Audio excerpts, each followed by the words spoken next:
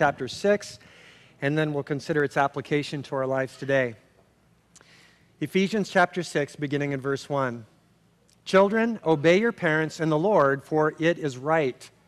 Honor your father and mother, which is the first commandment with a promise, that it may go well with you and that you may enjoy long life on the earth. Fathers, do not exasperate your children. Instead, bring them up in the training and instruction of the Lord. Father, we thank you for the fact that you have provided us your word. We thank you, God. It's just such a comfort. And actually, God, it's such a joy to have it in our hands and to have your teaching, your manual for life, for everything, including raising kids and including being a child in a home. And so I'm asking today that you might be glorified. I'm asking that you would change our hearts and our minds, that we might be transformed. Uh, we kind of come uh, because of the fallen nature, Lord, with some wrong ideas about parenting and about being a child in the home. And we need you to change our hearts. We need you to give us your perspective and your wisdom. And we need you to move us, God, to want to do your will and walk in obedience to the things that we read in this passage today. And I pray that the result would be every family would be stronger than when they came in. Every family would be more encouraged and built up. Every family would have a vision for uh, the role and the important, vital position that their family has in the kingdom of God and even on this island and in the world. And I ask God that you would give us vision for what can be when we put our trust in you. So, Holy Spirit, lead our time. Take my preparation and my words and my mouth and my mind and use them to bring glory to your name. And we ask all these things in Jesus' name. And everyone said, Amen. Amen.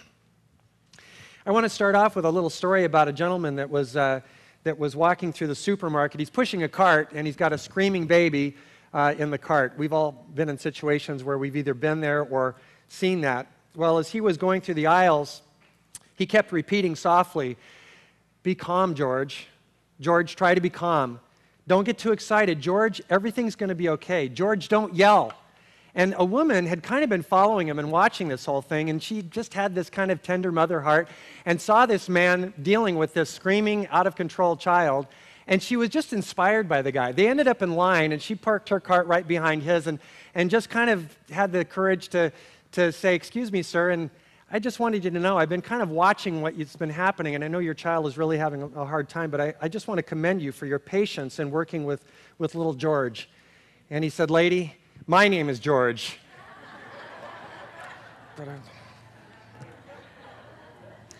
Uh, if you've ever been in a situation like that, it's just one of those moments among many moments in, in the parenting process that's painful, it's difficult, it's embarrassing, uh, sometimes it's overwhelming.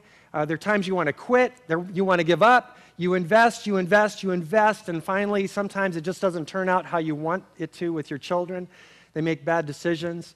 And um, don't respond to your leadership. And sometimes you just, it's like, I, I just could, wish I could have skipped that whole step, you know, of having kids. And then there's another component of this on the other side, which is the children who sometimes are in homes where the parents don't really have a very biblical worldview on how to parent. And, uh, and the kids struggle under the weight of that leadership.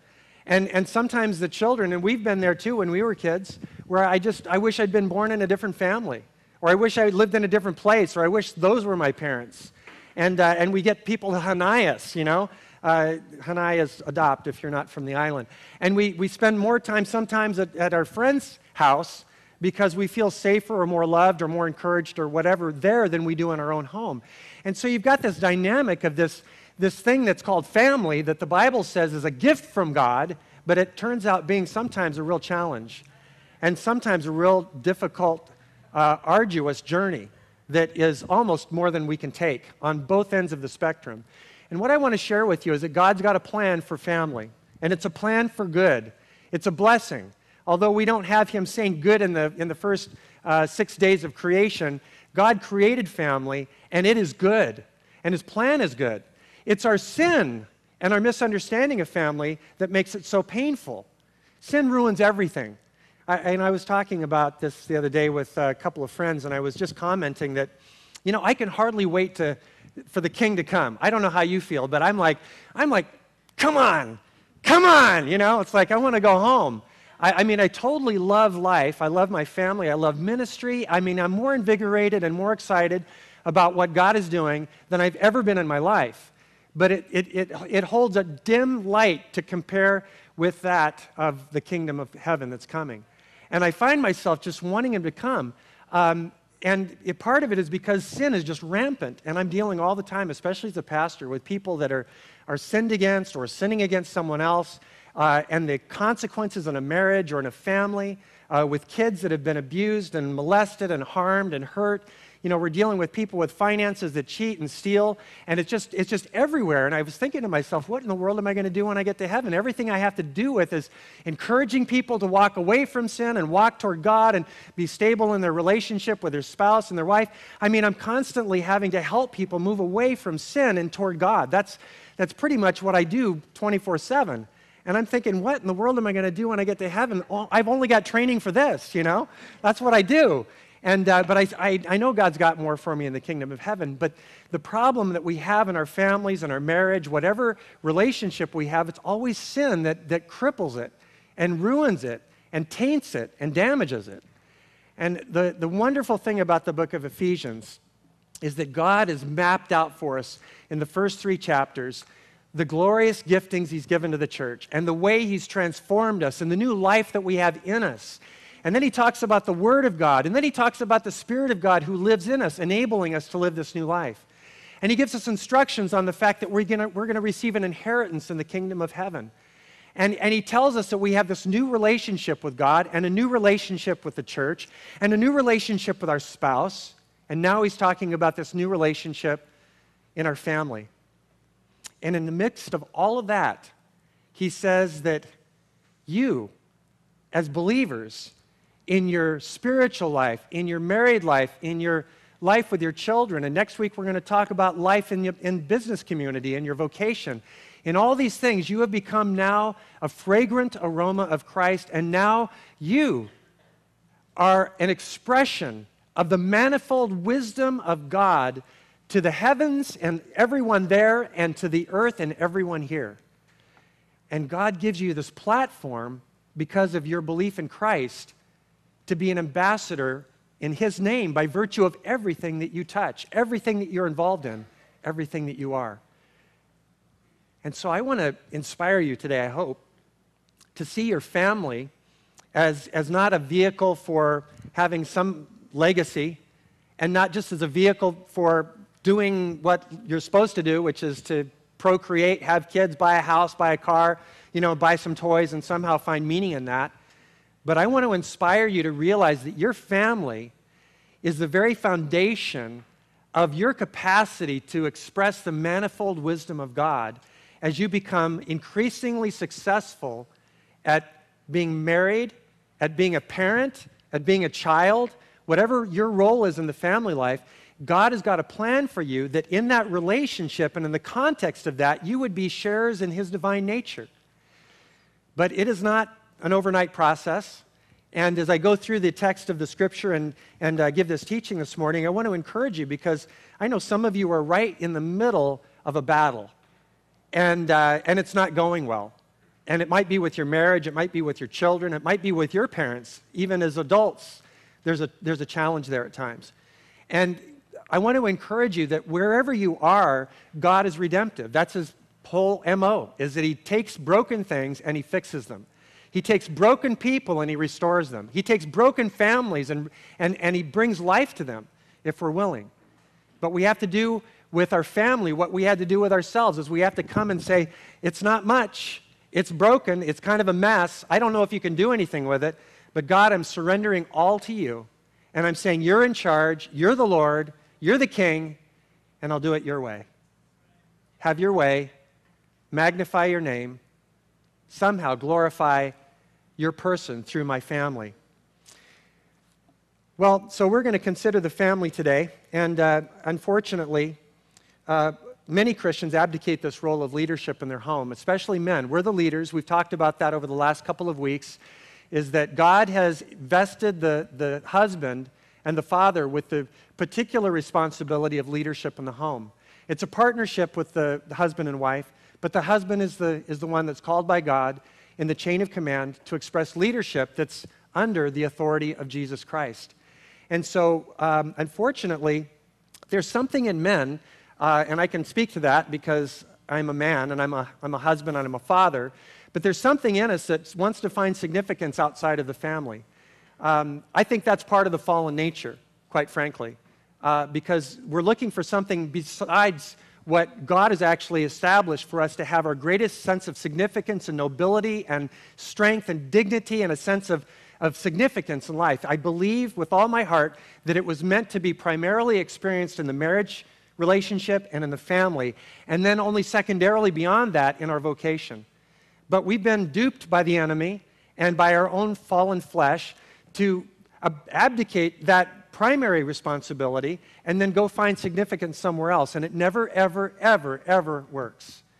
At best, it's a temporary uh, uh, rush of some sort of, success or acknowledgement. But at the end of the day, these things outside of the marriage and the family that God has given us in relationship with Christ are, are at best uh, second class to this first relationship of God and our families. I, I like what Socrates said, um, of course, a philosopher. He said, Could I climb the highest places in Athens, I would lift up my voice and proclaim, Fellow citizens, why do you turn and scrape every stone to gather wealth and take so little care of the children to whom you must someday relinquish it all? It's a good question. Why are we spending so much time outside the home trying to achieve and accomplish and amass and gather when, when we're going to pass it off to the kids we don't even necessarily get along with. We don't even like them sometimes. And sometimes they don't like us. And we don't invest very much in that relationship that we end up having to pass everything off to them in the end. It's a very good question. Howard Hendricks, uh, who is a great uh, preacher, has said that uh, uh in research, the average child spends about 1% of their time in church, 16% of their time at school, and 83% of their time at home. And his point is, is that the place where a, a child and a, and a parent relationship is going to be most clearly evidenced and built is going to be in the home. And so we have an obligation. You can't pawn this off on the church, you can't pawn it off on the schools. First of all, they don't have enough time with your child. But secondly, it's not their responsibility ultimately. It's the responsibility of the parent. So it's a dance. It's kind of like the husband wife relationship, they're mutual responsibilities. It's a dance with child rearing as well. Uh, the child has a responsibility, and the parents have a responsibility. And the scripture lays that out. And so we're going to go through this very, fairly quickly today and uh, talk about first the duty of children. And so if you're younger, I should be preaching over there right now uh, to the Sunday school classes, but uh, you can pass this on to them. But this also applies for even us who are adults and, uh, and or, or, you know, in our teenage years, college years. There's still this sense that we can still apply many of these truths as it relates to our parents, even for those of us that are adults 40, 50, 60 years old. We still have parents, and many of them are still alive. So, what's the proper attitude toward parents? Well, the Bible is very clear in Leviticus 19. It says that each one of you must respect his mother and father. That is the command of God. And so our parents are to be obeyed. In fact, in the book of Colossians 3:20, it says that we are to obey our parents in everything. Now, I have to make a, a little exception here. If you're an adult and you don't live in your home, uh, th- this is a different category. We're talking about children under the roof of their parents' home. But I still think that there's a principle here that when possible and when, when it's reasonable and when it's biblical, we should do our best to be responsive even to our adult parents uh, in honor of them. But this is primarily for those that are still uh, living within their parents' home. Uh, I maybe have to make a caveat there too, because we got people that are 30, 40 years old still living at home. But I'm talking about those that are under the age of 18. And also, the Bible says that they're to be honored. In fact, in, uh, in Exodus 20, it's the fifth commandment that God gives, and He says, Honor your father and mother. And as the text in the scripture says here in Ephesians, it's the first commandment that comes with a promise.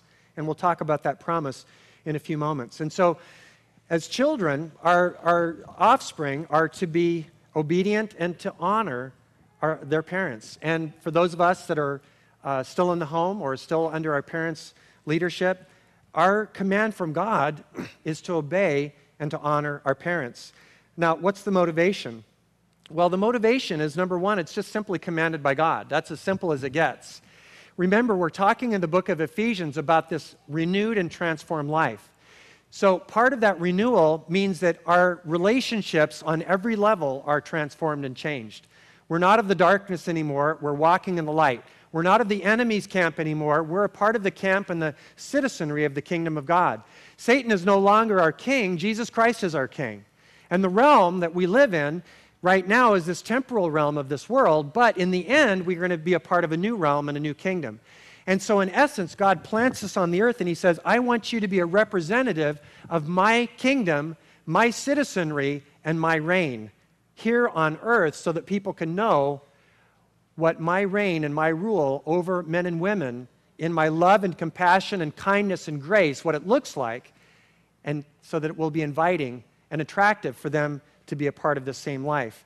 And so the kids in our, in our families, either ourselves or our own children, one of the things that God has given you to be able to be an expression of the manifold wisdom of God is how you conduct yourselves with your parents.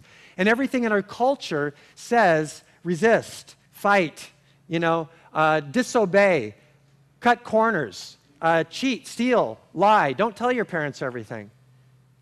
This is the culture we live in. This is what TV constantly is teaching all of us.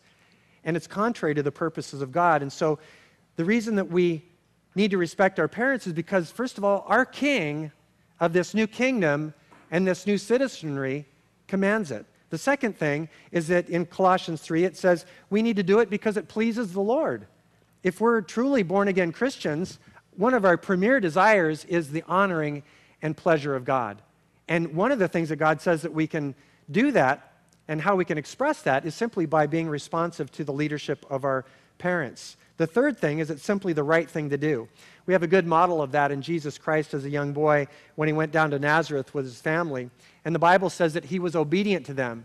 And he grew in favor with God and man, in stature and in favor with God and man. So everyone around Jesus saw this responsive young man to his parents. And I don't know if you've ever been around a family where the, where the kids are just really well behaved and they're, you know, let's say they're toddlers and, and the parents really seem, they're not perfect. The kids get a little wild, they have fun, they fight sometimes. But in the overall scheme of things, you get the sense that the parents really are loving and the kids are respectful and they know the boundaries and the limits and there's, there's peace in the home. That's an amazing experience to see. And it really honors God. Whenever you see that, it's like, wow, that's kind of amazing, especially in the day and age in which we live. And it's just the right thing to do. Now, um, I'm not sharing this because I'm trying to frighten any of you that are kids uh, or living in your parents' home, but I'm telling you, it's really scary what the Bible says when you choose not to obey your parents. So keep in mind, this isn't my stuff, this is Bible. This is right out of the Bible. Here are the dangers of, re- of disrespecting your parents. You really don't want to go here. And uh, so this is really, this is bad stuff. I'm warning you right in advance here, okay? This is really bad. Okay, you're going to be cursed. Wow. I mean, you know, we're not talking about some, you know, you know, some nonsense down in Kapa'a with somebody putting, you know, pins in a, in a doll. We're talking about God cursing your life when you fail to honor your parents. This is what it says Deuteronomy 27 16. Cursed is the man who dishonors his father and his mother. Oh, it gets worse. Well, you've got your notes. Your eyes will be pecked out. Wow, you know, bad. Proverbs 30 The eyes that mock a father and scorns obedience to his mother will be pecked out by the ravens of the valley and will be eaten by the vultures. Yum, yum. Bible also says that that person is worthy of death. I won't read this whole text in Deuteronomy 21, but it says that if a child is rebellious and unresponsive to their parents in the Old Testament, uh, the parents were supposed to bring that child to the, to the elders at the city gate. Uh, they were to have a little court hearing, and if it was discovered to be true, uh, the whole community would, would kill that child, would stone that child. I, am not advocating that, by the way. I know some of you are thinking, oh, can I? And I, no, the answer is no. No. But in the Old Testament, that was how they dealt. It says they, they, that the evil was to be purged from among you, and all Israel would hear of it and be afraid. In other words, there was a, there was a deterrence to that kind of behavior. And the truth is, is that we don't have any of that deterrence in our culture now. I mean, kids act however they want, and it's just like you, they can call CPS If you, if you spank them, if you, you know, do anything, it's like, you know, I'm going to call the police. It's like, you know, that's the culture that we live in. Don't any of you do that uh, that are younger? I, it's just, uh, it's, it's one of those things that could happen but shouldn't. So, uh, the other thing is, is that it says your lamp will be snuffed out. Um, if a man curses his father and mother, his lamp will be snuffed out as in pitch darkness. These are bad things. I think those are all bad, right? Cursed, pecked out, uh, death, snuffed out. Yeah, I think that's the bad list. Let's get to the good list. Because really, what we want to do is that we want to do things not just because of fear, but we want to do things because of the favor of God and the blessing of God. And what he says the benefits are is that you will have, uh, you will give your parents joy. Uh, a wise son brings joy to his father. The second thing is that you're going to have actually a better life because in Deuteronomy 4, it says that if we keep these commands and decrees, that it says that it will go well with you and your children after you. And so when we actually respond well to our parents, we are actually investing in our children's future. Isn't that crazy? When we, as people under the leadership of our parents, respond and appropriately uh, react to their leadership in our lives, it not only blesses our life, but it is, God says, I'm going to bless your children's life after you by virtue of your obedience to your parents. It also says that we'll be protected from danger. Um, you know, it talks about the fact that these commands are a lamp, this teaching is a light, and the correction of discipline are the way of life, keeping you from the immoral woman and from the smooth tongue of the wayward wife. This is from Proverbs 6. And so all this teaching comes through the parents. That's where it's supposed to come from. And as the teaching comes through the parents, the children are protected by that wisdom and insight that they receive in terms of the instruction or by means of the instruction of the parents. The fourth thing is the Bible says in Proverbs 3 is that you will enjoy a long life. My son, do not forget my teaching, but keep my commands. This is Solomon talking to his sons. Keep my commands in your heart, for they will prolong your life many years and bring you prosperity. Isn't that amazing? The Bible actually promises prosperity to children who honor and respect their parents. And the last thing, which we already have talked about, is it's simply pleasing to the Lord. You know, it makes me kind of wonder how this cycle just keeps going and going and going. And, and a lot of times it's, it's presented, and I think maybe partly accurately, as the parent's responsibility how their children act and behave. But in the text of Scripture, it gives clear instruction to the child and says the child has a responsibility before God to behave in a way that's honoring and respectful of their parents. I'm going to get to the parents part. But it's interesting that, that I, it makes me wonder as I'm speaking here how many people's lives have turned into disasters of, of one terrible decision after another with terrible consequences simply because they have a bad, unreconciled relationship with their parents. One of the things I'm going to suggest to us, uh, all of us, because of course we all have parents, is that we give consideration to maybe taking a look inside and seeing if there's anything that we've done and not reconciled with our parents? Is there some, some disrespect of the past, some violation, some offense, some lie, some dishonoring that we were a part of?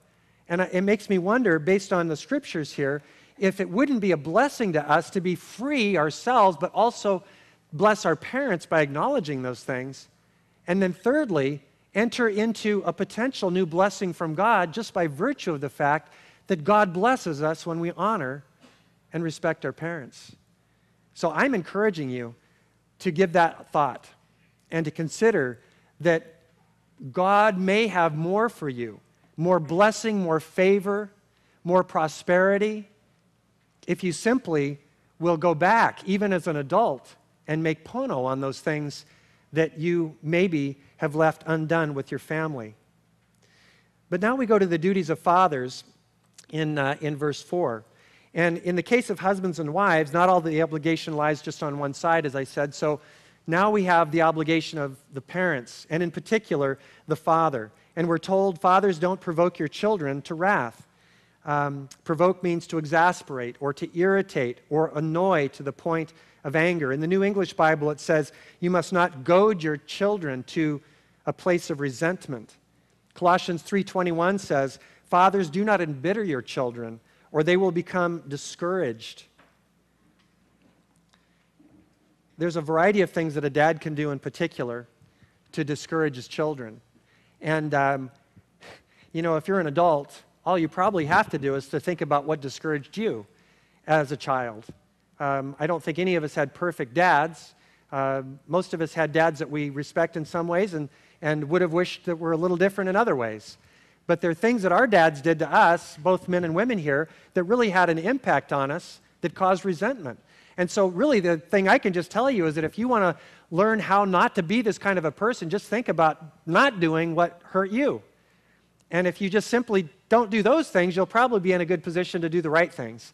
But I've got some things here that I, that I think, in general, are good examples of what really brings resentment to the heart of a child and causes them to close off and causes them to submarine and causes them to shut you out and causes them to rebel and causes them to resent and to be bitter and angry and unresponsive and disrespectful and dishonoring to a parent's leadership. One of those is mocking and imitating your child in a negative way. I see this happening. I see moms and dads doing it, somehow thinking that they're going to get their kid to behave by mocking them and behaving in the same way and acting the same way as a child is acting to give it right back to them, the same medicine, so to speak. And it can be very damaging. Tormenting or humiliate, humiliating your child can be really damaging. Um, and I, I remember, I remember even friends, family friends coming over and, you know, doing things that were just like, you get to the point where you're, you get angry. Like I'd get tickled so long. You, anybody ever have that happen where your parents would tickle you or, you know, you get tickled and you got to the point that you really just wanted to kill, but you couldn't because you're too small. And uh, so sometimes just tormenting uh, and, and doing things that, that drive your child to the point of anger or frustration, those are the things you definitely want to avoid. You don't want to humiliate your child either. I've seen parents try to get their children to walk in obedience to them by publicly embarrassing them in front of other people and their friends. And, and of course, that's not a biblical approach. Being harsh or scolding in an ungodly way is, is really damaging. Being hypocritical or unreasonable. I'm telling you, if, if uh, especially men, if we teach our children something and live the opposite way, it completely devastates our standing with our children. Uh, you know, I was just uh, I was thinking about um, dogs the other day. And I'm probably going to be really sorry I even went this direction because I wasn't planning on it. You can probably tell as I'm thinking here should I tell this? Should I talk about this? Okay, I'm going to talk about dogs for a minute. Men, you know how you guys that have dogs and pets, there's something really special about a dog coming home, uh, coming home to the dog. And, and the dog's at the door and it's wagging its tail. It's just like it's, it's completely in love with you it just thinks you're the greatest thing since sliced bread, right? We, there's that component of having a pet. And and you know hugging a dog when your d- day's gone bad and the dog is the only one that really totally understands you know your life. Of course the dog doesn't understand anything but we pretend he understands everything. But there's this sense of closeness and there's this sense of, of belonging. There's this sense of excitement coming home to this pet. And the thing i want to share with you this has got to be the worst illustration i've ever shared and where this is going. Uh, but, but there's, I, I really want to tell, I want to say that I believe that the family unit is, is to be that thing that you're coming home to. I, I believe that the family, your children, not necessarily wagging their tails and panting, but, you know, uh, although we've done that with my kids before, it's like, you know, get up in the morning, it's like, I'm so excited to see you this morning, you know, to my boys. Okay, it's getting really bad, I know. Um, a little, these little uh, bizarre windows into my family life. Uh, but there's this sense of excitement that we share as a family, and I really honestly think that men in particular, but moms too, but men in particular, because that's what the text is talking about, I believe that when you come home, one of the gifts that God has prepared for you is a family that has been waiting and looking forward to your arrival.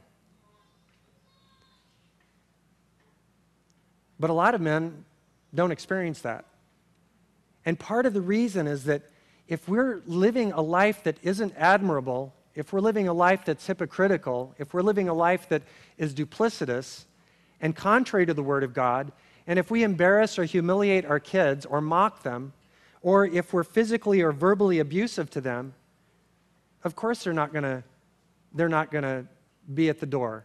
Your dog wouldn't be at the door either.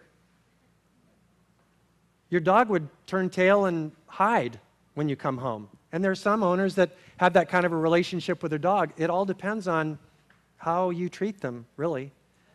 And so, in essence, what, what God is saying, and he, he, he spe- uh, specifically uh, uh, mentions this to the fathers. Why? Because we have a tendency to provoke. Men, there's something in us that we, as we talked about uh, last week or the week before, we were talking about how God has actually placed the husband in leadership in the home. The, the uh, temptation of the woman as a result of the fall is to usurp authority, and the temptation of the man is to rule with an iron fist. And so there's something in us as husbands that we just kind of expect and demand certain behavior. And we can be harsh, and we can be critical, and we can be impatient, and we can do a lot of scolding. But what God has placed us in the family unit to do is to uplift and to encourage and to develop an atmosphere where our kids are looking forward to our coming home. And we're looking forward to being home, and we want to be there. And the result is, is that when we come home and when we've got jobs and things, we've got the right perspective because we realize that at the end of the day, everything else can go upside down in life, but I've got my home, and I've got my family, and I've got my wife.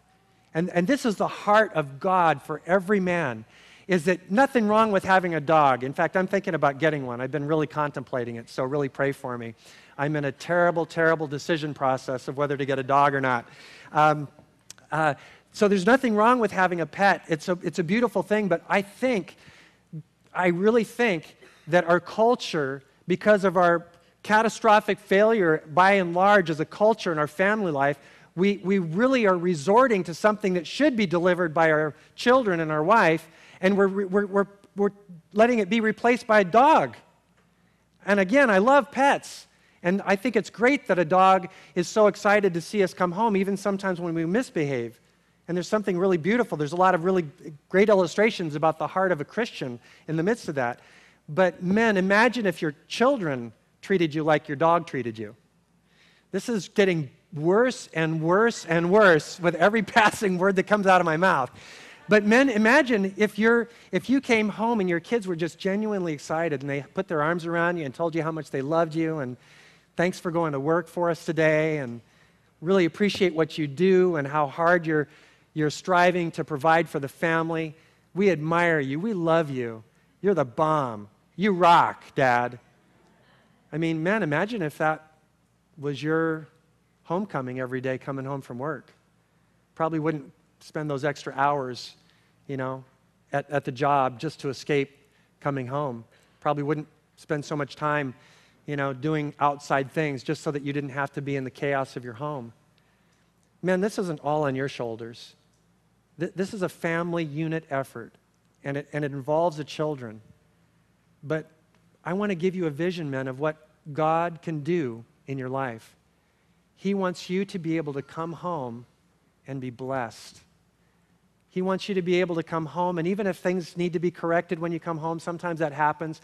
In the overall scheme of things, there's this sense of dignity and love and beauty and significance that you experience because you have tended the garden of this family unit in such a way that your kids are blessed that you're their father. That's a calling that God has given us. That's why Paul says, don't be the kind of man that provokes and damages and harms your children. Instead, he says in the latter part of verse 4, we're to bring them up in the training of the Lord and the admonition of the Lord. Training means to just educate and instruct, and admonition means to correct and rebuke. And uh, it's actually interesting that this word admonition is only mentioned one other time in the New Testament, and it's in 2 Timothy chapter 3, verses 16 and 17. And in that verse, it says that all scripture is God breathed and is useful for teaching, rebuking, correcting, and training in righteousness, so that the man of God may be thoroughly equipped for every good work. And so, men, God has placed a special responsibility uh, in our purview and our responsibility in our hands to, to teach our children, to rebuke them when necessary, and then to bring correction after we rebuke them. rebuking is telling them what they've done wrong, correcting is helping them get right back on the path of where, where they need to be going, and training in righteousness is helping them continue to move forward in their walk with God so that they can be a blessing to everyone else and so that you can be experiencing the blessing of having children that are trained in the Lord and so that your family unit can be, by and large, it's not always going to be perfect, but by and large, a place of peace. a place where, where God rules and reigns, and that you and your family and your marriage and your children become a manifold expression of the grace of God in Christ Jesus. When I think about, uh, as I'm teaching this, I'm, and I'm, I'm just thinking about how amazing it would be if every man in here took this on and said, I want to be that kind of a man. If, if every husband here took this role on and said, I want to be that kind of a, of a leader in my home, I want to have that kind of success. I want my kids to truly love me. I want them to be excited when I come home, not just when they're toddlers, but when they're 12 and 13 and 14 and 15. I want them to I want to have a good relationship with them. I want to be I want to experience what God actually originally intended for my role for you men as a father. And what I want to share with you men is it's good. It's a, it's a blessed thing. It's, a, it's, a, it's an incredible gift that God has given us, but it takes everything that we've got, and I would say more than we've got. I would say ultimately you can't do this apart from the power of God. I would say we would need not only everything that we can bring, but everything that God can bring and the Holy Spirit can bring to make us these kind of men, because everything in us, but by, by virtue of our fallen nature, mitigates against this kind of life. But men, you are not of this world. You are of the kingdom of God. Men, you aren't citizens of this kingdom. You're citizens of the King of kings and the Lord of lords. Men, you aren't just here on this earth. You're seated with Christ in heavenly places.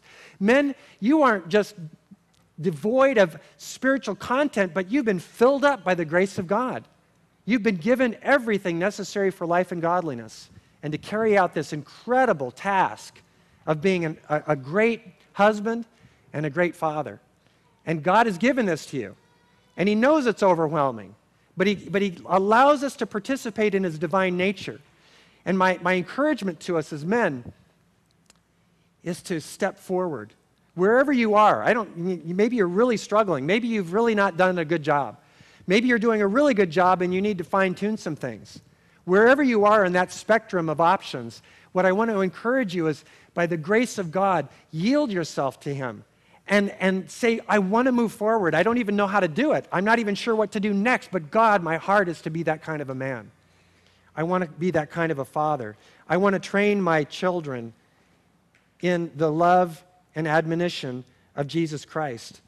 It needs to be the highest priority above everything else. It needs to supersede our desire for our children's health, for their intellectual brilliance and vigor, for their material prosperity, for their social position, and for their exemption from sorrow and great misfortunes. These are the things that most parents want for their kids. But for us who believe our primary and foremost goal needs to be that they would know God and that they would have a fairly clean version of what that looks like in our lives. And, and men, I've shared this before, but, but 1 Corinthians 11.1 should be on the lips of every Christian man in, in the midst of their family. And he says to the church, follow my example as I follow Christ. Your children want that. I, imagine, let's step away just for a moment from our parenting role especially the men, but the women can kind of uh, jump on board with this as well. But, but imagine for a moment that your parents treated you this way. Imagine that your parents were fair and that they were kind. Imagine that your parents were not hypocritical, but they actually were genuine and authentic in their walk with God. Imagine that your parents were encouraging and inspiring. Imagine that your parents were just edifying and uplifting every time you got around them. Imagine that your parents were proud of you and that your parents followed you even after you left the house and with blessing and with encouragement. Imagine if your parents loved you like that. What would your relationship with your parents be like? Well, you, you can't change what's happened in your past, but you can change what's happening in your present with your own family. And I'll share something else about this is that some of you are older and you've, your kids are, you've got grandkids. You've, some of you have great grandkids. I want to tell you, it's never too late, ever, ever, unless you're dead, it's never too late to change. In fact, I would say it's incumbent upon you to change.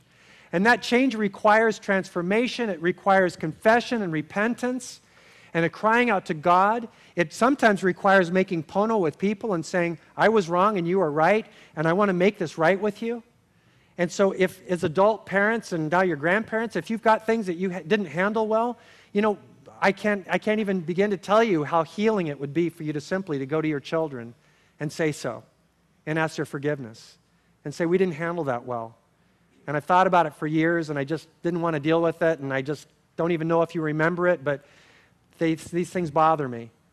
And, and while I'm at it, are there th- other things that didn't bother me that bothered you? Because I want to I want a clean slate. Yeah, you're my 40 year old son or daughter. Yeah, you're my 50 year old son or daughter, but I still want to have a good relationship. You know, it's never too late. And the reason I can tell you it's never too late is that what if your parents actually did this with you? Would it make a difference for you if they came and repented and made pono? You bet it would.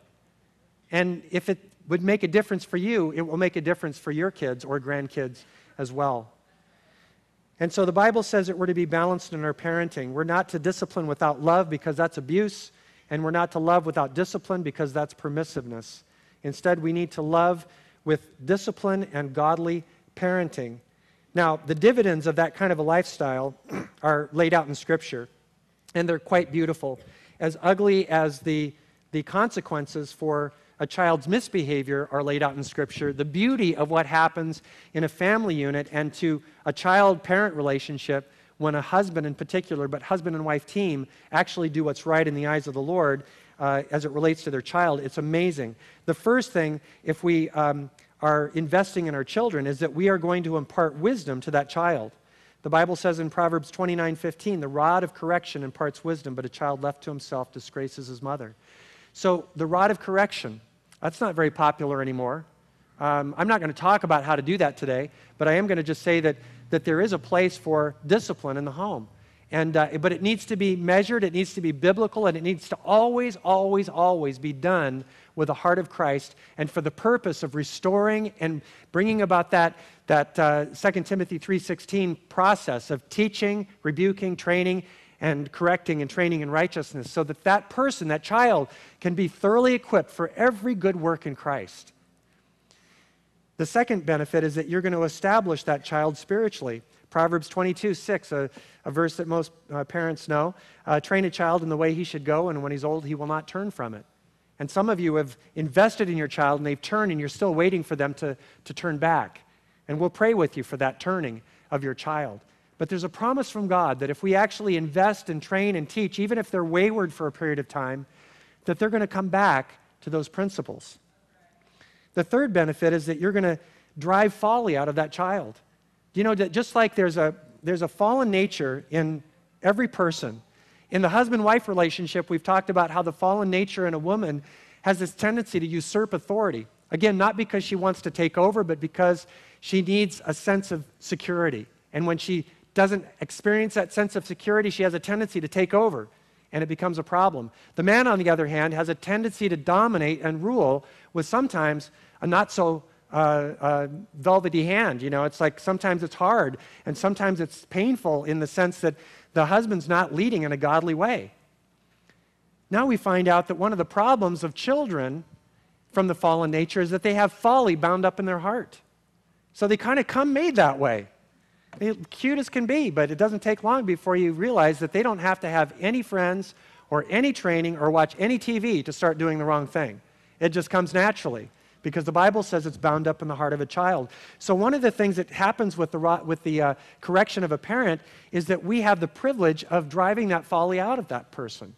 We're not talking about being abusive, but we're talking about in this, this loving, kind relationship of a father in particular leading the way in that family unit and modeling that kind of a life so that the child can respond and receive it.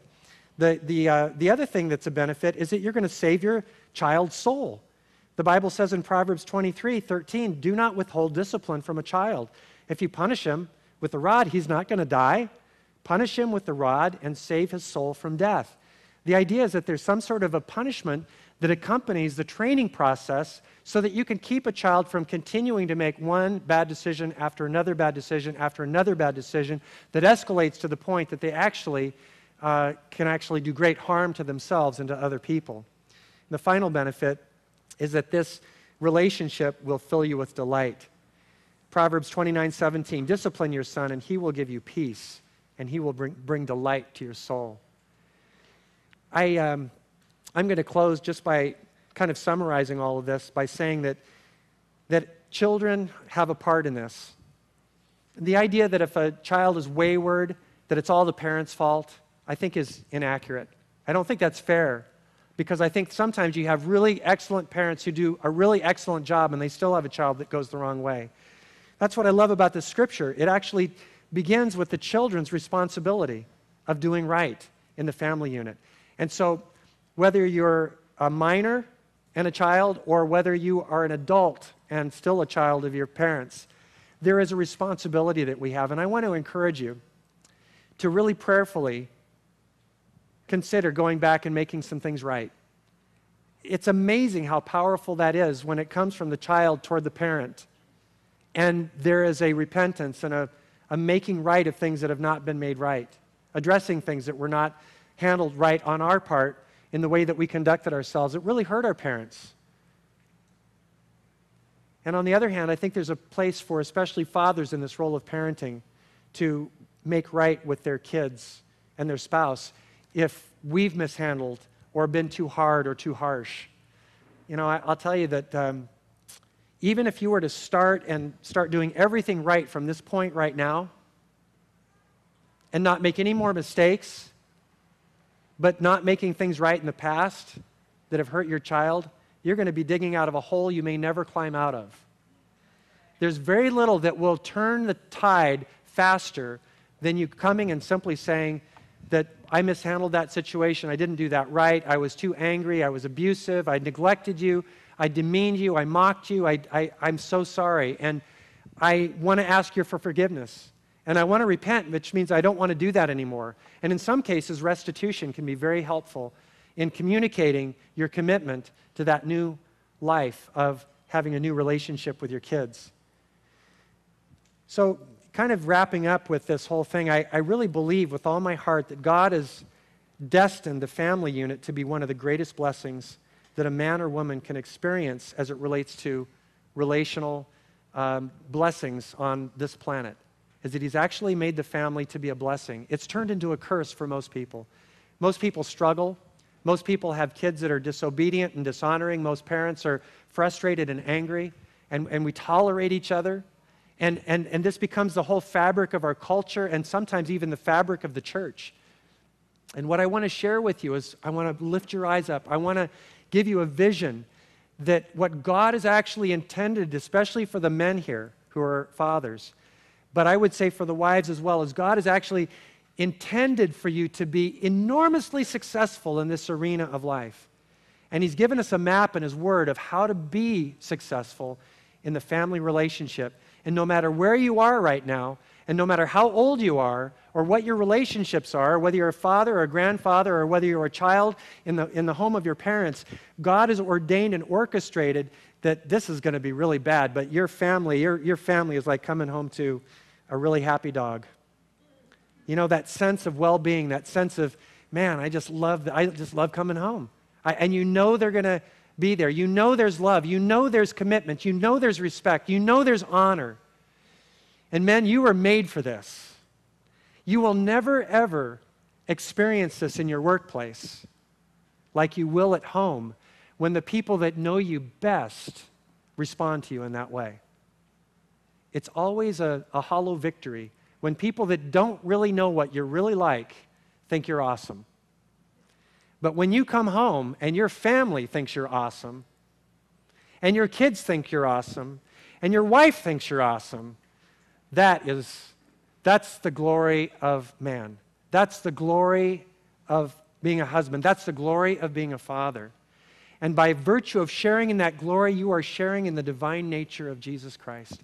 It's a place that He's appointed for you, it's a place that He's given to you. It's a gift and not a curse.